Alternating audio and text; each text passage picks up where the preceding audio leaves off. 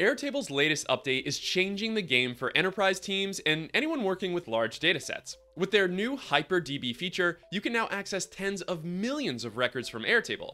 Today, I'm going to show you everything you need to know about this new feature and how it works. Hi, I'm Tom from X-Ray Tech, the workflow company. At X-Ray, we use Airtable and other low-code tools to help businesses organize their data and automate their work. If you'd like to learn more about X-Ray and our services, check out our website at xray.tech. You can also reach out to us through Airtable's partner directory where we're listed as a gold services partner. In this video, we're going to explore HyperDBs and what they mean for your company. We're also going to take a quick look at a few other features that Airtable introduced recently. Let's get started. Airtable has always imposed limits on how many records users can store in each base and table. The exact limits depend on each plan, and Airtable has consistently raised the record limits higher and higher over the last few years.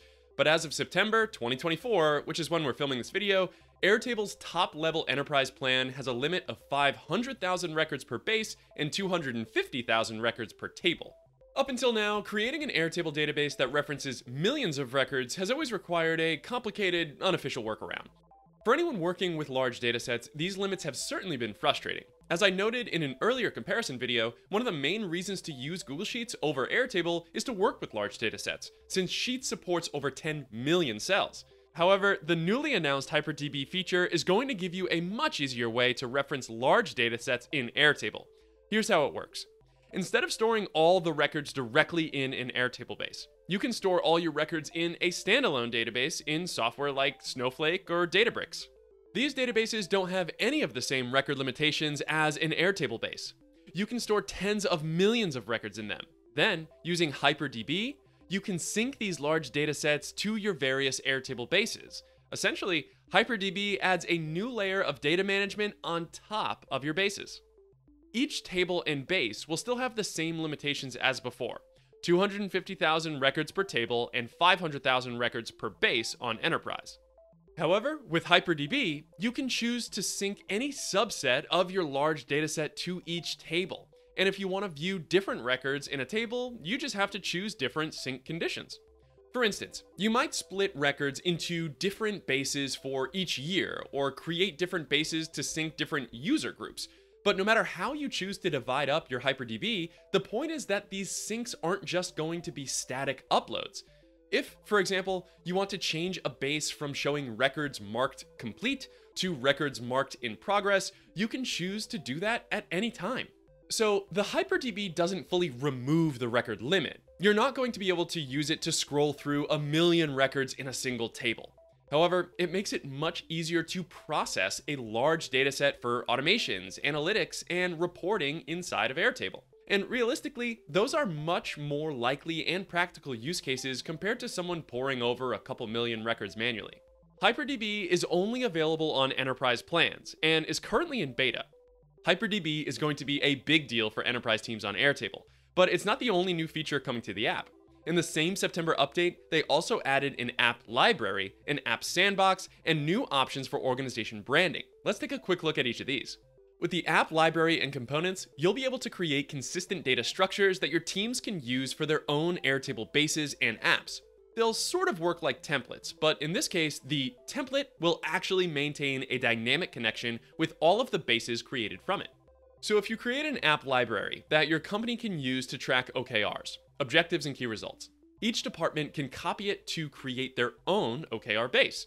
They can even customize it a bit to suit their own needs, but any updates that you make to the OKR app library will be reflected in each individual OKR base being used by each individual team. Plus, all of the data from every OKR base can be tracked and synced into a single report. With app libraries, it will be easier to keep your entire team on the same page and track their work while still giving them some degree of freedom to manage their own databases. Next, let's take a look at the sandbox. The app sandbox will give you a new way to test out changes to an Airtable base before you actually commit them to a live base that everyone's using. This is a very common principle in software development. Software engineers will always make changes to an internal code base so they can do some testing before actually publishing these changes to the app that users can access. Now, you can do the same thing in Airtable.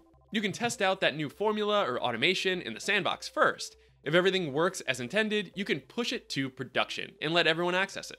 Or, if you've accidentally broken the entire base with your changes, you can just keep them in the sandbox until they're ready to go.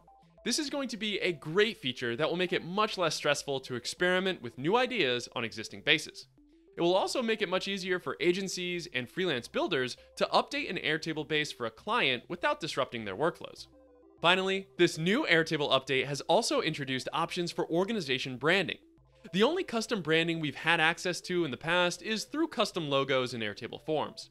Now, enterprise users will be able to customize their bases as well.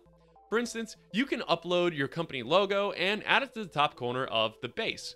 It's certainly not a huge change, but it can be a nice way to make sure your clients and collaborators see your branding on the Airtable products you've built. This will be particularly useful if you're sharing your base externally. Instead of just seeing Airtable's branding, your collaborators or clients will see your company's brand as well, keeping your organization top of mind. App libraries and organization branding are available today for users on the Enterprise plan. The App Sandbox is in beta, but anyone on the business or enterprise plan can sign up to try it out. With Airtable's latest round of updates, it will be easier than ever to manage large datasets. And beyond the exciting addition of HyperDBs, Airtable's also introducing several interesting features for organizing your team's bases, testing out ideas before publishing them, and customizing the style and branding of your apps. Let us know what you think in the comments below. Which new Airtable features are you most excited for? Will HyperDBs change the way you use Airtable or even get you to switch to Airtable from a different app? And are there any other Airtable topics you'd like to see us cover on the channel? Your suggestion could become one of our next videos. If you've enjoyed this video, prove you're human, like and subscribe for more automation tips every week. If you'd like to learn more about low-code automation and workflow design, follow us on LinkedIn, Twitter, or Facebook, and you can find all of our content on our website at xray.tech. You can find all those links in the X-Ray Workflow resources board down below, and as always, find your focus and stay in flow.